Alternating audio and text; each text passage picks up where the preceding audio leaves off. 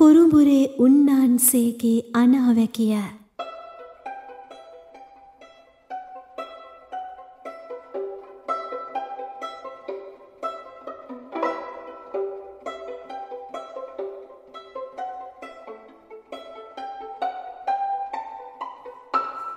ඩොයිල්ටත් ඕනෑ රජමල්වත්ත නිදානෙත් වෙද මහත්තයටම අරන් දෙන්නයි එහෙනම්. අම්බලමේ සෑහෙන වෙලාවක් ගිමන් හැරියද සුදු බණ්ඩේගේ හිතේ දෙකිටියාව සමහන්ව තිබුණේ නැත. ඔහුගේ යටිහිත පැතුවේ ඩොයිල්ගේ සම්ප්‍රාප්තිය බැවින් තව දුර යාගන්නට කාල වේලා තිබුණද අම්බලමේම රැය ගෙවන්නට ඔහු හිත හදාගත්තේය. ගිනිමැලය සරු කරමින් සිටි සුදු බණ්ඩේට උගුර පාදන සද්දයක් ඇසී බැලූ විට දුටුවේ හාමුදුරු නමකි. හේ වහා හුන්තැනින් නැගිට්ටේ අම්බලමට ගොඩ වෙන්නට හාමුදුරුවන්ට ඉඩහසර ලබා දෙන්නටය. ගොඩවන තැනට දා ඇති ගල් පොත්තේ වරක් දෙවරක් පා ඇතිල්ලූ හාමුදුරුවෝ අම්බලමට ගොඩ වී සිවුර එකලාසයක් කරගත්හ. හීය රාත්‍රිය ගෙවුනෙත් ගහක් යට.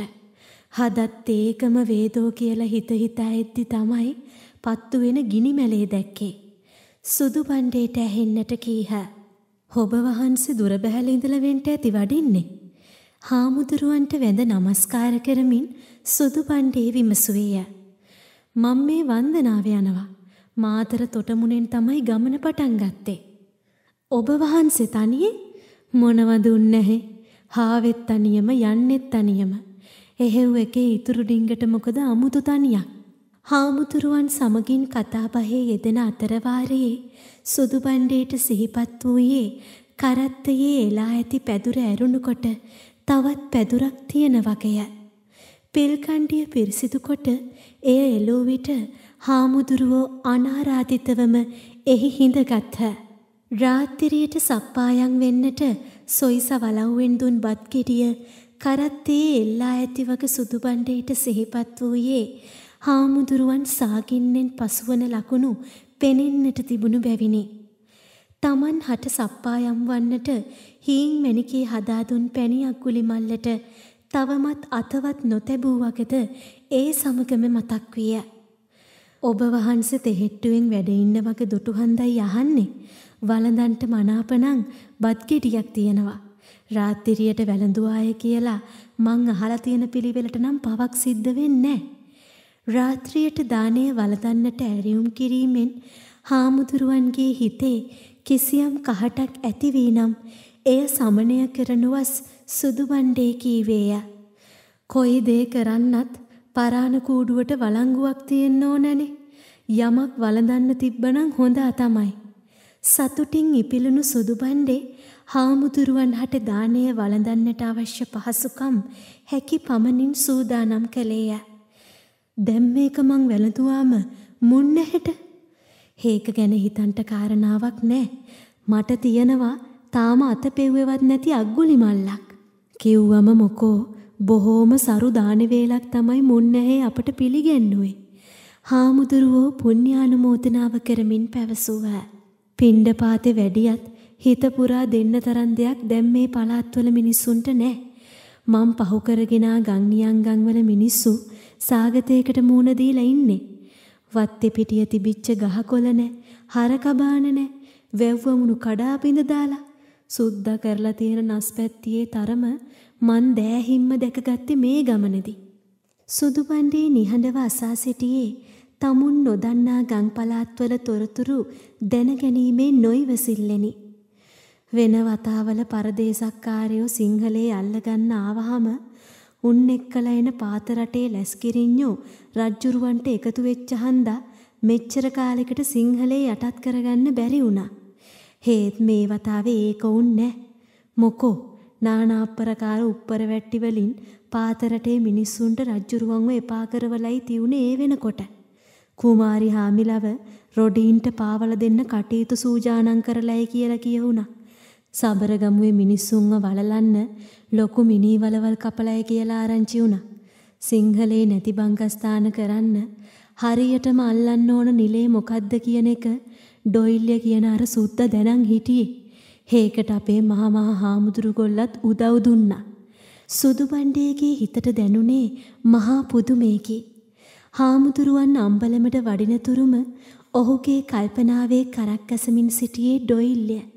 සුදු බණ්ඩේ අඩාඳුරේම වටපිට බැලුවේ ඩොයිල් කිට්ටුව පාතක ඉන්නේ දැයි සැකහැර දැනගන්නට මෙනි. මුන් නැහැකි ගං රටවල් කොහේය කිව්වා? මම මේ හඟුරංකෙත. හඟුරංකෙත කියන්නේ දිගිලිය නුවර. එහෙමයි. මද වේලාවක් සුදු බණ්ඩේ දිහා බලා හිටි හාමුදුරුවෝ දෙනෙත් තද කර පියාගනිමින් කතාවට වැටුණේය. මුන් නැහැ හඟුරංකෙත කිව්වනේ. හාමුදුරුවෝ මද වේලාවක් නිශ්ශබ්දව සිටියහ. මුන් නැහැට ඉන්නේ දරුවෝ දෙන්නයි. කොළු පැටවුම දෙන්නේ. සුදු බණ්ඩේගේ හිත තුල හාමුදුරුවන් පිළිබඳ පුදුමයකුත් ගෞරවයකුත් එකවරම උපන්නේය. එහෙමයි. එහෙමයි තෙරුණාන්සේ. එතකොට කවුද මේ ඒ එක්කලම ඉන්න කෙලි පැටික්කි? tamunne සහජාත දරුවෙක් නන් නෙමේ. හේ උනාට බොහොම පින්වන්තයි. මීට පරම්පරා හතකට ඉහතදී tamunne ඥාතිවරියක්. කොටින්ම කිව්වොත් tamunne උරුමේ හොයාගෙන tamunට අයිති ස්ථානෙට ඈ දැන් ඇවිදින් ඉන්නේ. සුදු බණ්ඩේ පිරන් තට්ටු වූයේය. වලව්වේ ඇති සිය මීමුත්තාගේ යයි සැලකෙන වසා ඇති කාමරය ඉසව්වේම නිරන්තරයෙන් ගැවසෙන ලදැරිය බිඟු මල්ලෙතනා ඔහුගේ හිතේ ඇඳුනේය. තෙරුන්නාන්ස මට ඒ වග විත්තිය හරිහැටි වැටහුන්නේ මීට පරම්පරා හතකට උඩදී ඔය වලව්වේ උන්නු නිලමේගේ මැණිකේ මේ ආත්මෙදි තමුන්නේ පරම්පරාවට සම්බන්ධ වෙනවා තමුන්නේ පුත්තු දෙන්නටම ආඹුව වෙලා. සුදු බණ්ඩේ හාමුදුරුවන් දෙස බලා සිටියේ වික්ෂිප්තව ගිය සිතිනි. උන්වහන්සේ වසාගෙන සිටි දෙනෙත් විවර කළහ. හැබෑට කාය කවුදේ දැරිවි.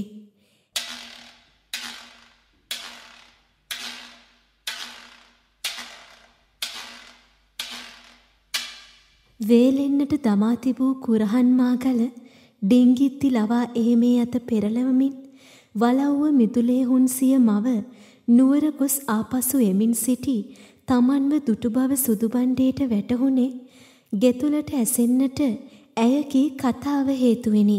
ඕන් නුවර ගිය ඇත්තෝ එනවා පේන්නම් මොකද්ද පොදියකුත් කැටි කරගෙන? හැබැයි මූණකට නම් ඒ හැටි හොඳ නැහැ. කී පමාවට තමන් පිළිගන්නට හීන්මැණිකේ ඉස්සරහට නොආවේ දරුවා කිරිබොමින් සිටින නිසා වෙන්නට ඇතැයි ඔහුට සිතුනේය. එනිසා ගෙට ගොඩ වූ පිම්මේම හීම්මැණිකේ සිටිතන සොයා ගිය සුදු බණ්ඩේ තමා අතේ වූ පොදිය ඇගේ ඔඩොක්කුව මත තබා කවිච්චිය මතට කඩා වැටුනේ වචනයක් හෝ නොපවසමිනි. මේ අහවල් ඇන්නෑවක් දැයි සිතාගත නොහැකි වූ හීම්මැණිකේ සුදු බණ්ඩේ දෙස බැලුවා මිස පොදිය කුමක්දැයි බලන්නට උනන්දු වූයේ නැත. තමුන්ට කළ මදිපුංචිකම වැටහුණු නිසා හෝ කිරි සුවඳ නිසා හෝ පොදිය යටිගිරියෙන් බෙරිහන් දෙන්නට තියාගත්තෙන් කිරි උරමින්ම නිදා සිටි කොළු පැටියාටද ඇහැරුණේය. ඇහැරී නිකම් නොයිද ඌද යටිගිරියෙන් අත්වැල් ගායනය ඇරඹුවේ තමන්ටද එය ඒ හැටි කච්චක් නොවන බව කාට කාටත් පෙන්වා දෙන්නට මෙන්ය. ඉන් බියපත් වූ හීම්මැණිකේ දෙදෙනාගේම මුවට සිය තනපුඩු එබුවාය. කොළු පැටියා කෙසේ වෙතත් පොදිය නම් ලහි ලහියේ කිරිඋරන්නට පටන් ගත්තේ සිය අයිතිය තහවුරු කරගන්නට මෙනි. කායද බොල මේ දරුවා? කොට්ටල මැණිකේ විමසුවේ ඒ විප්‍රකාරය තවදුරටත් ඉවසිය නොහැකි වූ තැනය. චන්ද්‍රතිලක මැණිකගේ මද වේලාවකට පසු කවුරු කවුරුත් නොයිවසිල්ලෙන් බලා සිටි උත්තරය ලැබුණේය. හිතින් අහවල් දෙයකටද තෝ ඒකිගේ දරුවා මෙහෙ යන්න ආවේ. හේකි වැවට පැනලා දිවිනහගෙන. සුදු බණ්ඩේකී උගුරෙන් පිට වූ ඉකිය කොට්ටල මැණිකේටද ඇසුණු නමුත් දෙනෙත් දොඹගෙටි තරමට විශාල වී තෙත්පරියන් වූයේ හීන් මැණිකේගේ විතරය. හම්මා මලානම් හප්පය කියන එක නැත. තෝ අනුන්ගේ කුණුවලට කරනො ගැහුවට හේකිව බේරගන්න ගිහින් ඌත් මියදිලා මේ වංගියේ. තව මොකක්දෝ අහන්නට කොට්ටල මැණිකේ තොලකට හදන දුටු හීන් මැණිකේ ඒ මැත්තට පැන්නාය. හුඹේ ඔය පුරස්නවල තවත් ඉවරයක් නැද්ද මය නැන්දම්ම? නිලමගේ හිත තව තවත් නොතලා ඉඳින්කෝ. ඇය කීවේ කඩා හැලෙන්නට කල්යල් බලමින් සිටි කඳුළු කැටියක්ද සමගය. කොට්ටල මැණිකේ ඇය දෙස මද වේලාවක් බලා සිටියේ කෝපේනි. තිට හොඳනම් මයමකෝ කියාගෙනම වලව්ව ඇතුළට යමින් ඇය ඩිංගිත්තිට පැවරුවේ සුදු බණ්ඩේට බොන්නට යමක් පිළියෙල කරන ලෙසය. හම්මෝ හැතියාන්තක්. දැන් තමයි මය ඇඟට ලේ පොදක් ඉනුවේ. මේකි ගෙනාවට මොකෝ මං ආවේ මාවත් ආපිට පන්නාවි කියලා බය. සුදු බණ්ඩේ කීවේ ඉඟි මරමින් රහසේය. මෙච්චරක් දුරක් කොහොමද මේ කිව ගෙනාවේ? බඩගිනි වෙලා ඇඬුවේ නැද්ද? හේක නෙව පුදුමේ කියන්නේ. මේකිට බඩගිනි වෙච්චි හැම වෙලාවෙම කවුරු හරිම බවලතෙක් මුණ ගැහුණ කිරිඩිංගිත් අප්පුවා ගන්නට. පෙලක් වෙලාවට මය සුලැඟිල්ල කටට දුන්නම නැලුණා. මාත් මහන්සිය බැලුවේ නෑ. දිගටෝම ආව මිසක්. අනේ අප්පේ මූණකට නුවර එකීගේ වාගෙමයි. දුකේ බෑ. අපි මේකිව අපේ මේකියක් වගේ හදාගමු. නැන්දම්මට බය ඇත්තේ 65 සමුණ බෙදේ කියලා වෙන්න ඇති. ඉඟිමරා සිනාසෙමින් හීන් මැණිකේ වලව් ඇතුළට net යැව්වේ නැන්දම්මා ළඟපාතක ඉන්නේ දැයි බලන්නටය. ඇය නැමී දැරියගේ නළල සිපගනිද්දී ඇය අසලින් හිඳගත් සුදු බණ්ඩේ නැමුනේ ඇයගේ හිස සිපගන්නටය. ඒ වෙලාවේ සුදු බණ්ඩේට දැනුනේ හීන් මැණිකේ පිළිබඳ සෙනෙහස සිය සිතේ පිටාර ගලමින් තිබෙන බවකි.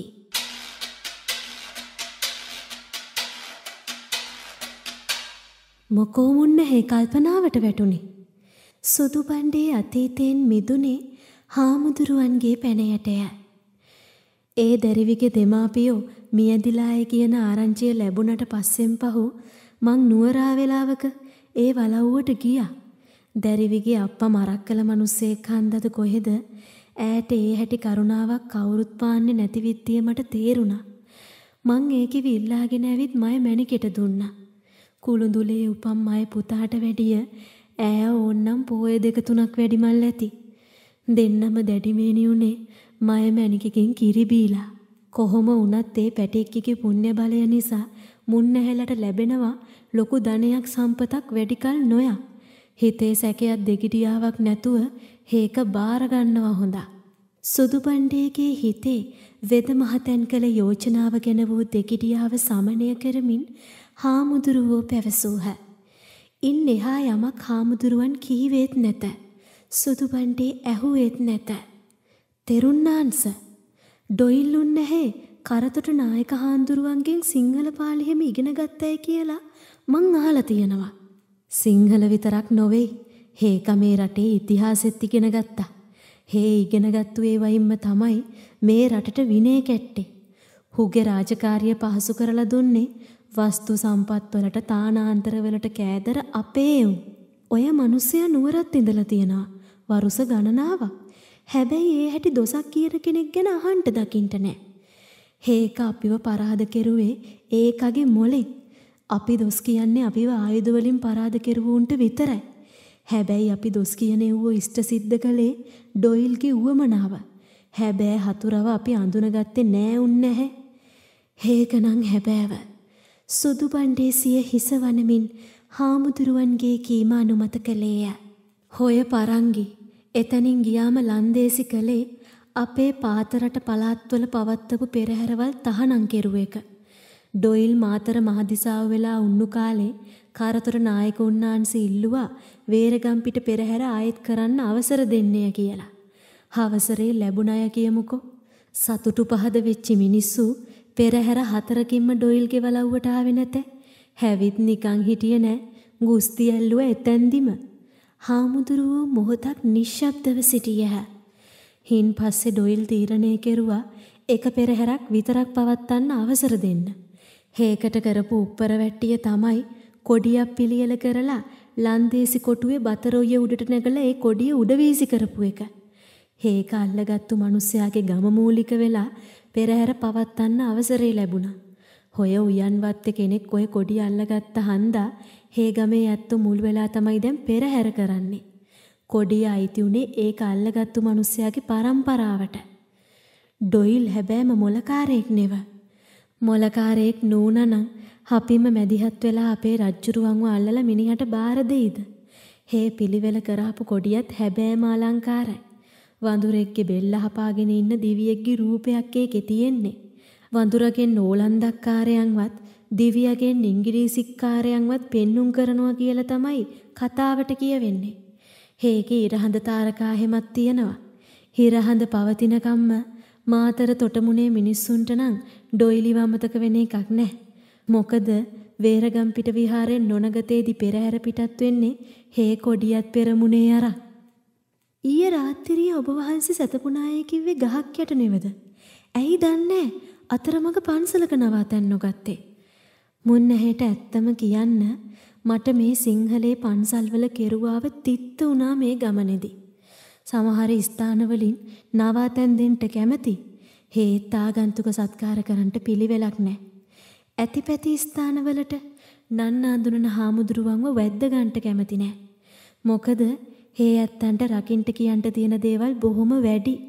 සමහර තැන්වල නානාප්පරකාර බේද බලනවා. හුඩ රටද පාත රටද හෙතනින් ගියාම කුලමල වගේ දේවල්. හොය මොකක්වත් නෑ පින්ඩ පාත්‍ර ලැබිච්ච දෙයක් වළඳලා ගලක් උඩ හරි ගහක් යට හරි සැතපුණාම. හාමුදුරුවන්ගේ ප්‍රකාශය ඇත්ත වගේ දන්නාහෙන් සුදු බණ්ඩේ වචනයක් හෝ කීවේ නැත. මුන්නහෙට මං කියන්නම් හොඳ කතාවක්. මේ ගමනේදී මට අහන්න දකින්න ලැබිච්චි. දවසක් මට ඇතිපැති පන්සලක නවාතැන් ලැබුණා. හාගිය තොරතුරු කතා කරද්දි කියවුණා මහාන කරන්න කොල්ලෙක් දෙන්නෙක් හොයන කතාවක්. හොඳ මහනියෝග තියෙන උන්ව හම්බුණාලු. හේ උනාට උන්ගේ පෙළපත් නාම ඉවර වෙන්නේ ගේ කියලාලු. හේ ස්ථානෙට හොයන්නේ ලාගේ කියලා පෙළපත් නාමේ තියෙන උන්ව. එහෙම හම්බ වුණු උන්ට මහනයෝග නෑලු. හෝම් මේ සිංහලේ පන්සල්වල හාමුදුරුවරුන්ට තියෙන පුරස්න. Taman කීදෑ කෝරාලට හරිහැටි නොවැටහුණු වග හාමුදුරුවෝ තේරුම් ගත්හ. අර විදියට පෙළපත් නාමේ බලන්නේ වෙන මොකකටවත් නෙමෙයිුන් නැහැ. උඩ රටද පාත රටද බලන්න. කවදත් අලුත් යමක් දැනගන්නට කැමති සුදු බණ්ඩේ හාමුදුරුවන්ට ඇහුම්කන් දුන්නේ ධර්ම දේශනයකට සවන් දෙන්නාක් මෙන්ය. අනිත් කාරණේ තමයි ලාගේ කියන කෑල්ලෙන් කියවෙන්නේ. බහුපුරුෂ සේවනයය නැත්තං එකගේ කෑමය කියන කතන්දරේ හැමෝම අමතක කරලා දානවා. තමන්ට බහුවචනයෙන් කියවෙන වාසගමක් ඇත්තේ තමාගේ මීමිත්තනිය එකගේ කෑනිසාවක තේරුම්ගත් සුදු බණ්ඩේ සිතින් සලකා බැලුවේ තමාගේ කොල්ලන් දෙන්නාටත් බහුවචනයෙන් වාසගම යෙදීම ගැනය. ඉන් අසාධාරණයක් සිදු වී ඇත්තේ අන් කිසිවෙකුටවත් නොව තමා මත්තේම මැරෙන්නට පතාන ආ හීන් මැණිකේටයයි ඔහුට සිතුනි. හෙක බඩවැල කඩානාව සහෝදරයෙක්වත් මට හිටියනම් හෝන් තව කමක් නෑ. සිය පරම්පරා පෙළපත් නාමයට පසුව තමාගේ නමද කොල්ලන්ගේ නම් ඉදිරියෙන් කියවෙන්නට අරින්නට සුදු බණ්ඩේ තීන්දු කළේ ඒ මොහොතේමය. හෙතකොට හාමුදුරුවෝ කියන්නේ එකගේ කෑවය කියලා. හීන් මැනිකට කියන්ට කාටවත් බෑ. මොකද මුන්න ඇහි කතාවක් බහක් නැත්තේ. තමුන්නේ ලාගේ කෑල්ල ගැන කල්පනා කරනවවද්ද? සුදු පණ්ඩේගේ නිහඬතාවෙහි කෙලවරක් නැති තැන හාමුදුරුවෝ ඇසූහ.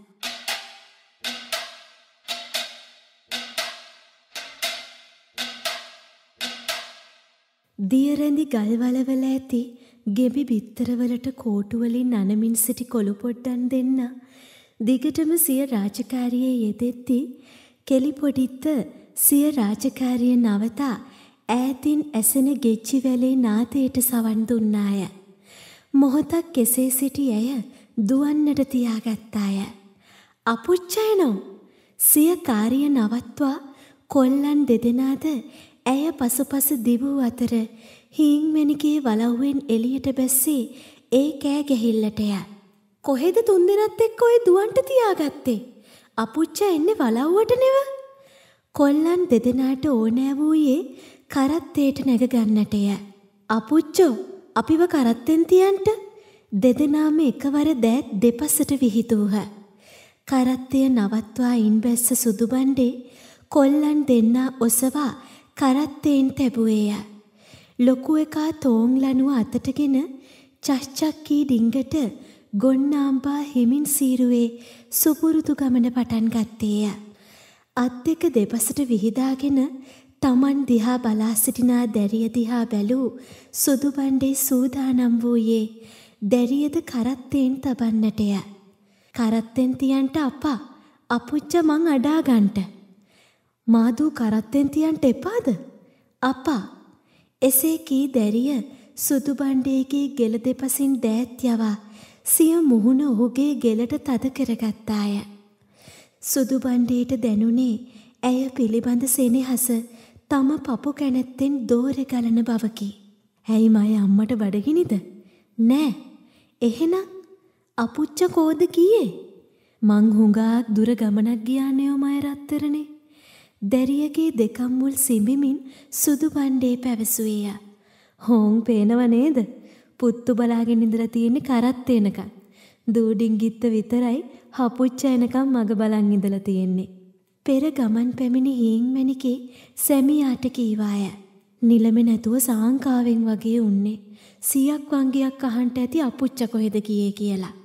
හීන්මැණිකේගේ සිතේ දැරිය පිළිබඳ ඇති කම්පාව සුදු බණ්ඩේටද තේරුණේය.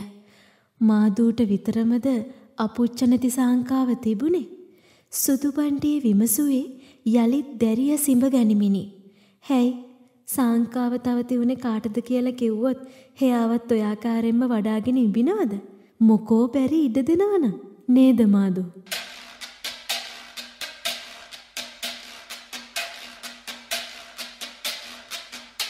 කවුරුය කිව්වා තැන්නේ කුඹුරදි තොට මුලිච්චි වුණු උන්නාන්සේ? දමුණුමේ විහාරයේ නායක හාමුදුරුවන් එසේ විමසුවේ සුදු බණ්ඩේගෙනි. නුවර ගොස් සාදා හැන්දෑවේම සුදු බණ්ඩේ ගොස් නායක හාමුදුරුවන් මුණ ගැහුනේ ගමන පිළිබඳ වග විස්තර දැනුම් දෙන්නටය. කුරුඹුරේ උන්නාන්සේ කියලා කිව්වේ. කුරුඹුරේය කිව්වා. තෝ කටහිම වරද්ද ගත්තේ නෑ නෙවද? මහා බලගතු මන්තර ගුරුකංකාරයා. ඔය පාත රටේ ලොකු ලොකු මුදලි මුහන්දිරන් ගොල්ලෝ උන්නාන්සේගේ නම කිව්වත් බයයි. තෝ මෙහි ගැන මතක් කරන්න නැතුව ඇති මං හිතන්නේ. ඔහෙ නෑ. ඇහුව දෙයකට උත්තර දුන්න විතරයි. එහෙම කරපු එක හොඳා.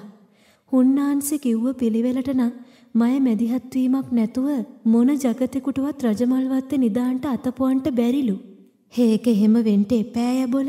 රජවරු හත් කට්ටුවකටම කැලෑ කෝරාල රාජකාරිය කළේ තොගේ පරම්පරාවේ ඇත්තෝ නෙව. තාමත් රාජකාරියට තිබුණු බය පස්සපාතකමට හේ ඇත්තෝ නිදානේ රකින්නව ඇති.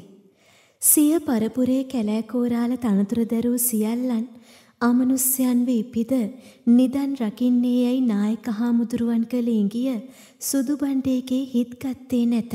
එහෙත් කුරුඹුරේ හාමුදුරුවන්ද නොකියා කීවේ ඒ ටිකම නොවේදැයි යන කල්පනාවද එවිටම ඔහුගේ හිතට රිංගා ගත්තේය.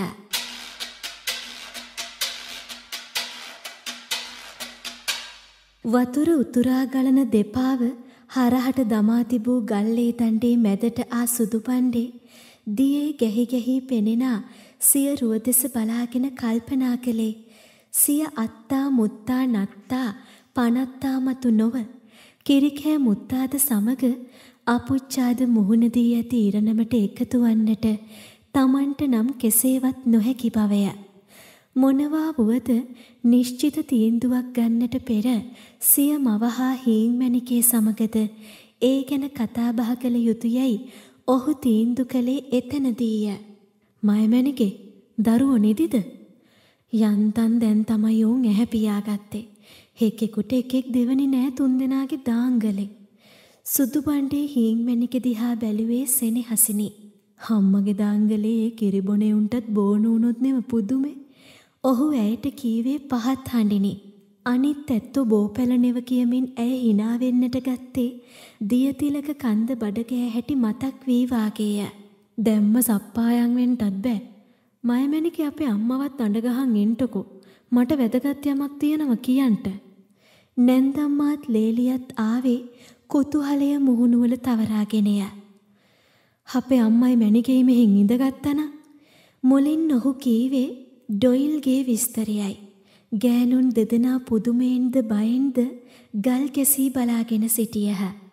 "හෑ අකෝ මෙච්චර දේවල් සිද්ධ වෙලත් තෝ දැන් දේව අපිට කියන්නේ?" කොට්ටල මැණිකේ සිය කෝපය පළ කරද්දී හීන් මැණිකේ තුෂ්ණීම් භූතව සිටියාය. දෙවනුව දිගෑරුනේ වෙද මහතැන්ගේ පණිවිඩය පිළිබඳ කතන්දරයයි.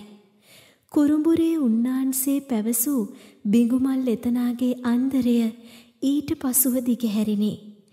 ඒ වග විස්තර කියද්දී හීන් මැණිකේ සිටියේ මුව අයාගෙනය. කොට්ටල මැණිකේගෙන් එවන් විමතියක් පල නොවූ හේයින් සුදු බණ්ඩේ පුදුම වී සිය මව දෙස බලාගෙන සිටියේය. මොකෝ උඹ මන් දිහා කටත්තරම් බලන් ඉන්නේ. දැරෙවි වලව්වට ගෙනා දවසේ රාත්‍රියේ හීනෙන් ඇවිදින් මට අර්ථනායක රාලහාමි කිව්වා හුඹ වලව්වට ගෙනාවේ උන්දැගේ කුමාරි හාමිවය. තව වග විස්තර ඉස්සරහට දැනගන්ට ලැබේවිය කියලා. මයනෙන්දම්මා කෝ ඉතින් හුඹ මට ඒ වග විත්තියක් කිව්වද?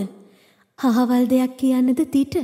තී ඒකිව ගත්තු ගමන් තනේ කටේ එබුවේ මං නෙවෙයි ගෙනාවට අමනාපෙන් උන්නේ.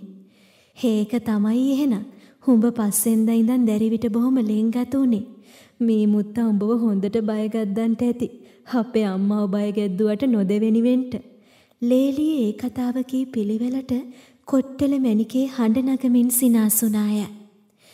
රජමල්වත්තේ නිදානෙන් අපේ පරම්පරාවේ කොටහ අරන් දෙන්න තමයි හුන්ද මරක් කළ මිනිහෙකුට ජාතක වෙලා ඉපදිලත් මේ වලව්වට කොහොමින් හරි ඇවිදින් තියෙන්නේ.